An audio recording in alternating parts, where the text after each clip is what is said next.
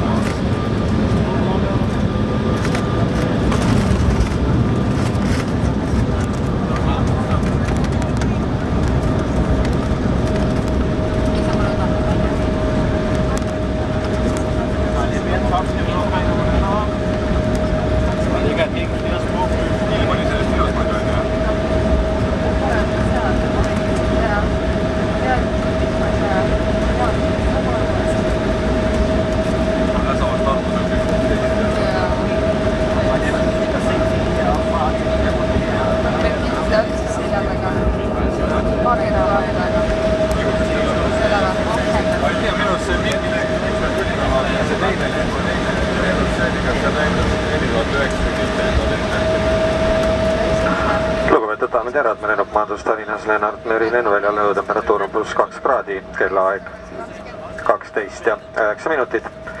parlamendil jääda oma kohtadele turvaliselt kinnitatuna. Ja hoida avariiväljapääsude vaegiga vabad käsipagasist, kuni lennuk on täielikult peatunud ja tabloogeeriti külmad on kustunud